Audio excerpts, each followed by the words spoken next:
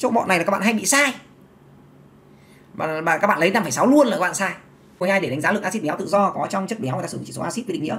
Chỉ số axit bằng số mg cao mắt cần để trung hòa axit béo tự do có trong một gram chất béo.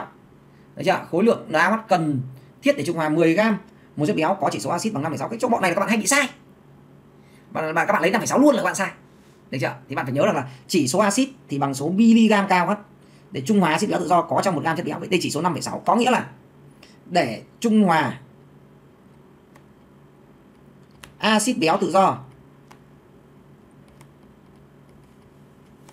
có trong 1 gam chất béo thì cần 5,6 mg cao hết Và 5,6 mg cao H này tương ứng với lại là 5,6 nhân 10 mũ trừ 3 gam cao H. Và bây giờ thì hỏi là khối lượng nào mắt cần thiết để trung hòa 10 gam một chất béo thì bây giờ mình cứ chơi là trung hòa 10 gam một chất béo đó. Vậy bây giờ này, trung hòa axit béo tự do có trong 10 gam chất béo thì cần bao nhiêu? Thì nhân đến 10 lần đúng không? 5,6 nhân 10 mũ trừ 3 nhân 10 gam cao được chưa? Đấy. Mà nhưng mà ở đây đề bài là hỏi khối lượng NaOH. Ok chưa?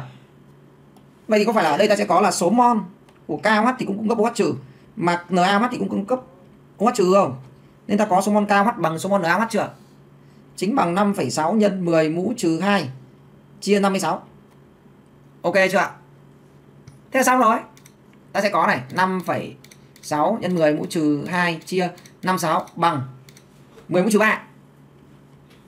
Vậy hoàn toàn nhân với 40 là mình ra được khối lượng của NaOH bằng 0,04 gram nhá.